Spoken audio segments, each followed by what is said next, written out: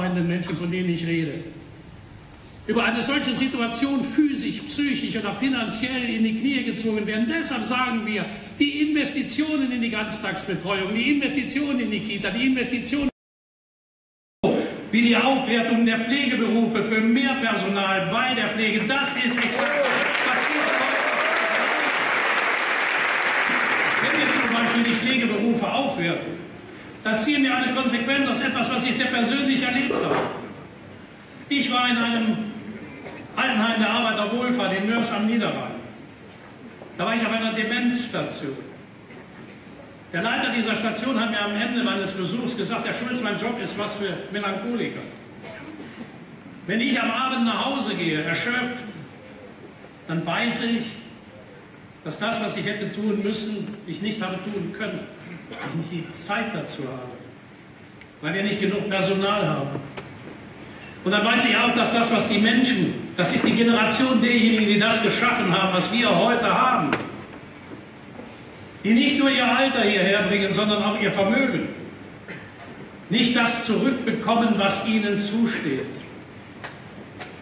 Und deshalb sage ich nochmal, wenn ich aus einem solchen Heim herausgehe und anschließend sage, wir müssen die Pflegeberufe aufwerten, was wir jetzt mit, der neuen Pflege, mit dem neuen Pflegeberufegesetz wollen, damit wir mehr Personal dort bekommen und dieses Personal gut qualifiziert und besser bezahlt ist, dann ist das nicht, wie ich in einem Zeitungskommentar gelesen habe, eine soziale Wohltat, die ich verspreche. Nein, es ist die Verwirklichung des Artikels 1 unserer Verfassung. Die Würde des Menschen ist unerfassbar. Für die Alten in diesem Heim genauso wie für den Pfleger oder die Pflegerin. Und deshalb habe ich mich entschieden, gemeinsam mit dem Parteivorstand unserer Partei, dass wir zuhören und dass wir aufnehmen, was die Menschen wollen. Und wenn wir darüber reden, dass in unserer Gesellschaft wir Gerechtigkeit brauchen, dann brauchen wir diese Gerechtigkeit als ein Prinzip. Und zu dem Prinzip gehört auch, dass wir gerechte und faire Löhne brauchen. Es kann nicht sein, dass es kann nicht sein, dass in diesem Land auf der einen Seite Unternehmensgewinne ins Unermessliche steigen und übrigens teilweise massiv gesteigert werden dadurch, dass Effizienzgewinn durch zusätzlichen Einsatz von Robotik und Maschinen erzielt wird, die menschliche Arbeitskraft reduziert. Was ein Problem der Zukunft sein wird, mit dem wir uns intensiv beschäftigen werden, weil wenn menschliche Arbeitskraft wegfällt, heißt es ja nicht, dass die Menschen weg sind. Dann müssen wir neue Berufsfelder, dann müssen wir neue Unternehmensformen, dann müssen wir neue Berufsbilder entwickeln. Die Zukunft wird ganz stark von der Digitalisierung geprägt werden.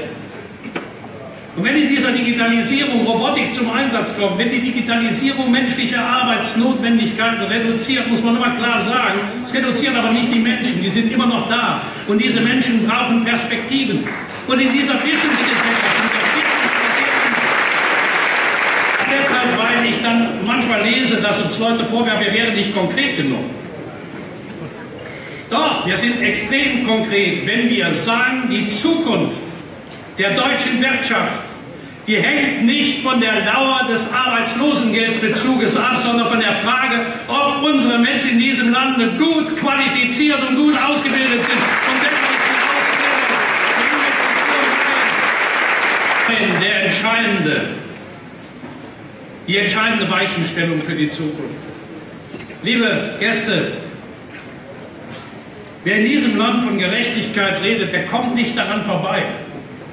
Und deshalb komme ich nochmal auf die Löhne zurück, auf die Schere, die uns gerade in den letzten Tagen und heute über die Veröffentlichung des Armuts- und Reichtumsberichts vorgelegt worden ist, zu reden. Wenn vor allen Dingen in urbanen Ballungsräumen wir über das Leben von Menschen reden, die gut verdienen, dann müssen wir auch darüber reden, dass es nicht gerecht ist, denn Paare, die zum Teil zwei relativ gute Einkommen haben, in bestimmten Ballungsräumen am Monatsende das Geld zusammenkratzen müssen, um die Miete bezahlen zu können. Das ist nicht gerecht. Für faire Mieten. Und übrigens der Kampf auch für den Bau von neuen Wohnungen ein ganz zentrales Gerechtigkeitsthema in unserem Land. Und dazu gehört übrigens auch, dass die Schere auseinandergeht bei den Einkommen. Ich habe da eben schon darüber geredet. Und wenn ich über Einkommen rede, weiß, wo ich bin, ich weiß auch, dass ich in Niedersachsen bin und ich weiß auch, dass Volkswagen in Niedersachsen zu Hause ist. Ich sage es aber trotzdem. Wir können nicht zulassen, dass die Steuerzahler die Boni von Unternehmensvorständen mitfinanzieren. Deshalb VW in Niedersachsen, das ich den Journalisten, damit die nicht hinterher fragen müssen. Aber die fragen halt immer hinterher. Sie sind ja Niedersachsen. Stefan Weil und ich sind in dieser Frage absolut einig. Wir haben einen Gesetzentwurf eingebracht, da steht drin, ab 500.000 Euro aufwärts können Boni nicht mehr als Betriebsausgabe abgesetzt werden. Von der Steuer.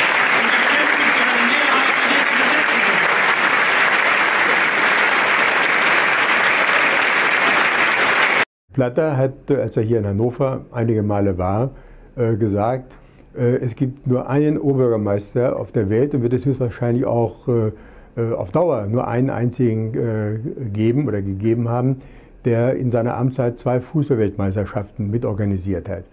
1974 war Hannover Austragungsstandort, da war ich im Amt und 2006 war ich auch im Amt. das war schon eine besondere Situation. Die Menschen lagen sich in den Armen und ich erinnere mich an ein Spiel, wo die mexikanische Mannschaft hier gespielt hat, wo mit einmal 15.000 äh, Mexikaner hier waren, die weder ein Hotel noch sonst was hatten. Und was noch nie vorgekommen ist, wir hatten natürlich auch, wie man das modern und neudeutsch nennt, Public Viewing.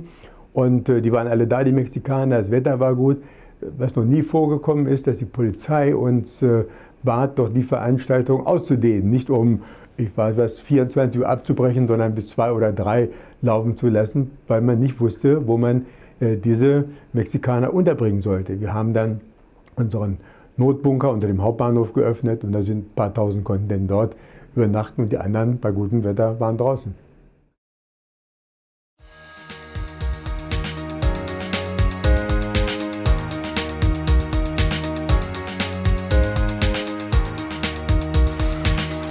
Von allein ist noch nie etwas besser geworden. Es braucht Menschen, die dafür kämpfen. Für ein besseres Land. Miteinander. Solidarisch. Wir tun das seit 150 Jahren. Als eine demokratische Partei, die für alle Menschen da ist, nicht für Banken und Spekulanten. Eine Bewegung für gleiche Rechte. Für Männer wie für Frauen, für Jung und Alt, für alle, die hier leben. Für eine freie, eine gerechte, eine soziale Gesellschaft. Das treibt uns an. Deshalb haben wir auch in schwierigen Zeiten niemals aufgegeben. Freiheit und Leben kann man uns nehmen, die Ehre nicht. Beharrlich und mutig.